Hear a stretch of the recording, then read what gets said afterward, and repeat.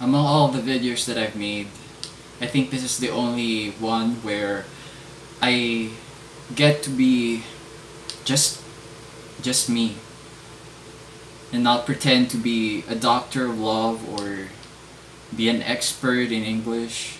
Well, for that part, it's true at a certain degree if you ask others who have learned from me. But what I mean to say is for this video, since I'm filming during the time of this novel global pandemic, I've decided to come up with a special series that focuses on my experience during this time of enhanced community quarantine.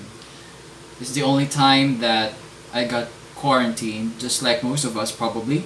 If you ask a healthy person like me, who rarely get sick, being stuck at home and not being allowed to go out unless for urgent matters is really, how should I put it, seems surreal.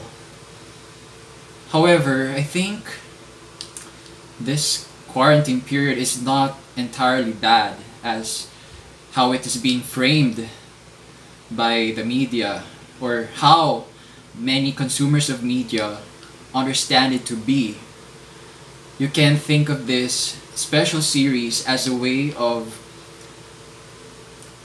probably finding a voice that resonates with your um, with your beliefs about the situation that it's not only for people who it's not only about protecting our physical bodies from infection. I think this quarantine is also a way to give people a break from the toxicity in their respective workplaces outside home with problems that they want to for a while at least forget.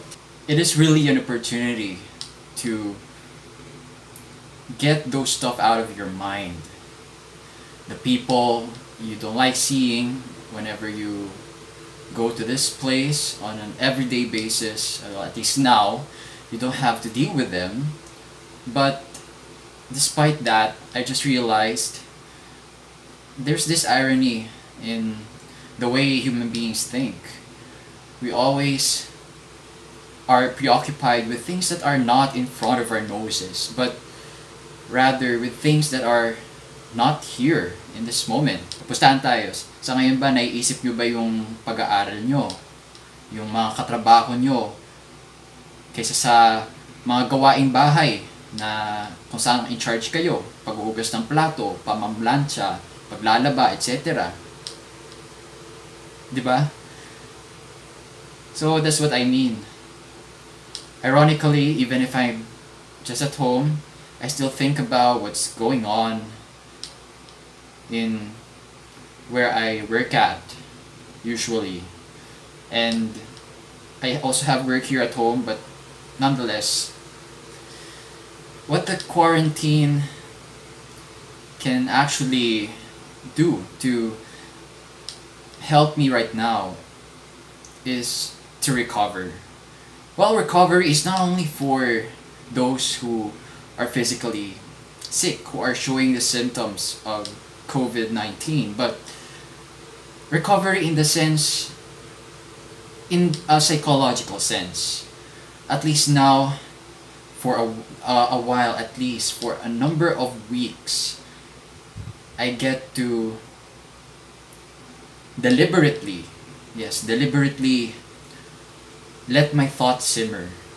I get to think about the things that I usually forget because I should deliberately forget while I'm at work or while I'm busy serving others, whether that be in church or in school. Well, the only service that I can deliver is through how I communicate through on uh, yes through online means through the camera and I'd say that it's not a bad idea at all. It's not a bad idea at all to for at least a number of weeks for um, just uh, this once to have minimal contact or no contact physical contact at all with large crowds of people. At least now I get to rest and figure out why on earth I'm alive for the first lesson that um, has conquered most of the space in my mind nowadays during the quarantine is the value of solitude. In our culture, being alone is avoided. Well, in my case, because every day I'm used to people approaching me with their respective problems, and of course, I give them my undivided attention. Solitude makes me or helps me direct this undivided attention onto myself. We are we have been taught spiritually that to give is better than to receive. But here's my take also. We are also one of the recipients of that goodness, even if it's our own bodies that do the benefiting. And if we exclude ourselves from the list of recipients, then how will we be able to have the means, the resources to serve others if we neglect meeting our own? So it's good that, in a way, at a certain degree, experiencing be, uh, being quarantined this long is an opportunity for people like me who crave for solitude, for recovery, for creativity, to focus on what has been neglected while staying outside. And at least during this period, I'll be able to gather the energy that I'll be needing when I return to the outside world. At least for now. At least for now, I get to be myself with all of you guys and gals who have, until this point, constantly stayed with Nocturnal Sage. I want this to be a platform also for you for recovery. If in case we have the same thinking about the situation, I'm glad that we've had common ground.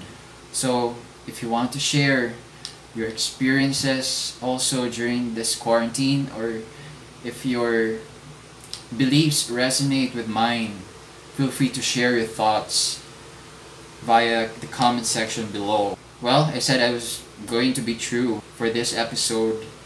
So, just this once, no solicitation for likes or following. But if you do, and hit that like button down there, I'd sure appreciate that. It will give me the encouragement to make more of this kind of these uh, kinds of videos because it's a sign that I, it's helping you. That's actually what I want to do as an as an influencer. I want to help promote progressive discourse. Okay, I'm using sophisticated terms. I just want to help people be in be engaged in worthwhile conversations. Even if I don't know you personally, if you benefit from this kind of exchange, then that is uh, an achievement for myself already. The value of solitude really enabled me to think of outlandish ideas such as this. Make a playlist dedicated to my meditations during the quarantine period. And yes, maybe you're thinking I could have started on the first day, but during those first days, I've been busy corresponding with people regarding their their emergencies. With yes people I'm referring with people I'm referring to my clients. But now uh, yes the correspond the exchange is still ongoing but now I've decided to block out time for this. Those who rely on this platform uh, are also my clients. And I just want to say that you you don't have to pity yourself for being alone at home. Because the irony of solitude is you're not the only one who's alone.